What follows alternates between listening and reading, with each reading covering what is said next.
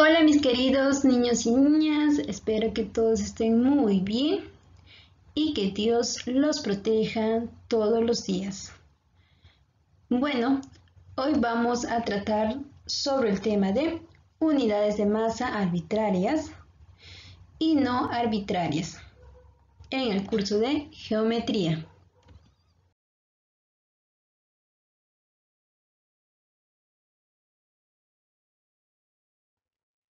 Como siempre, en todas las mañanas debemos orar a Diosito para agradecerle que hoy en día, gracias a Él, estamos muy bien. Para ello vamos a orar el Padre Nuestro. También vamos a hablar sobre respetamos nuestro cuerpo. En la Biblia vamos a encontrar este texto bíblico en el segundo de Timoteo capítulo 1 versículo 7 porque no nos ha dado Dios espíritu de cobardía, sino de poder, de amor y de dominio propio. Unidades de masa arbitrarias y no arbitrarias. Vamos a leer una situación. Cuando tu mamá compra frutas en el mercado, ¿qué instrumento le ayuda a verificar si la medida de lo expedido es exacta? Excelente, la balanza, muy bien, porque con la balanza podemos verificar si está pesando un kilo, dos kilos, tres kilos a más. Si compro un kilogramo de manzanas más un kilogramo de naranjas, en total he comprado dos kilogramos. ¿En dónde lo hemos pesado? En la balanza.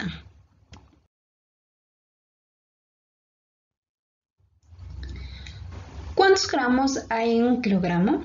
A ver, ¿quién sabe para su 20? Excelente, en un kilogramo hay mil gramos. La masa es la cantidad de materia que tiene un cuerpo se mide en kilogramos y gramos. Para medir se emplea la balanza.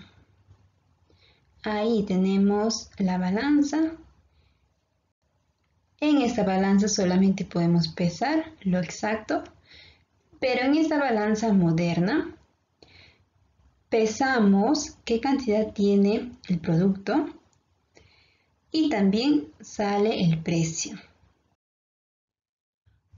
Ahora vamos a ver unidades de masa arbitrarias. Podemos medir los productos con cucharas, cucharones, tazas, tazones. Como así, un ejemplo. A ver, sus mamás les dice a ustedes, a ver hijo o hija, saca un kilo de arroz del saco para cocinar, pero solo mide con una taza. ¿Ustedes qué harían? Excelente, por ahí me van a decir que tres tazas de arroz es un kilogramo. De esa manera medimos los productos. Ahora les pregunto uno más. Estas unidades de masa arbitrarias son exactas o inexactas. Excelente, son inexactas. ¿Por qué? Porque hay tazas de distintos tamaños, tazones de distintos tamaños, cucharas y cucharones también. Es por ello que son inexactas. Muy bien. Unidades de masa no arbitrarias vamos a encontrar a la pesa. Esta pesa nos va a permitir pesar de manera exacta los productos. Entre las pesas tenemos de un kilo, medio kilo y un cuarto. Un kilo es igual a dos medios kilos. Y medio kilo es igual a dos cuartos de kilos. Cuartos de kilos es igual a, a un kilo. Vamos a ver más. Las unidades de masa no arbitrarias son un kilogramo en la unidad de masa. Se abrevia con el número 1 la letra K acompañado con la letra G. Un kilogramo. Y es igual a mil gramos. Como pueden ver, ahí tenemos a la pesa de un kilogramo. La mitad de un kilo es medio kilo y se abrevia 1 sobre 2 con la letra K y G. Y esto es igual, equivalente a 500 gramos. Como pueden ver, la pesa de un kilogramo es igual a 2 medios kilos. La cuarta parte de un kilogramo es un cuarto de kilo y se abrevia 1 sobre 4 con la letra K y la G. Y esto es igual equivalente a 250 gramos. Como pueden ver, un kilogramo es igual a 4 cuartos de kilos. Muy bien, excelente. Practicamos. 2 kilos de harina es igual a 2000 gramos.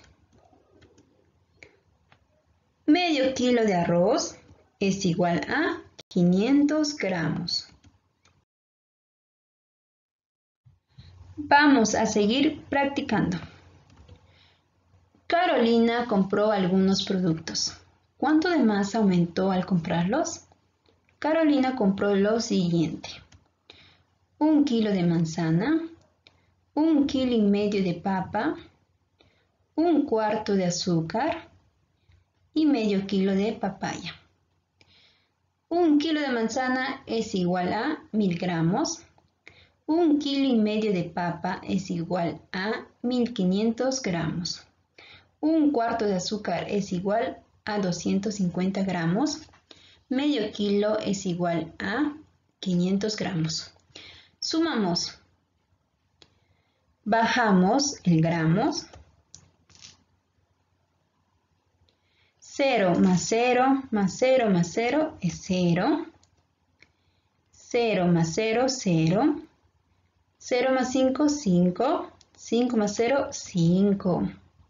0 más 5, 5. 5 más 2, 7. 7 más 5, 12. Dejamos 2 y llevamos 1. 1 más 1, 2, 2 más 1, 3. En total tenemos 3.250 gramos. Es equivalente a 3 kilos y un cuarto.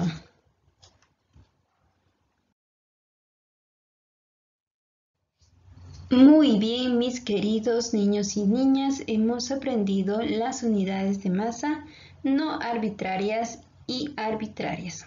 Cuídense mucho y que Dios los proteja.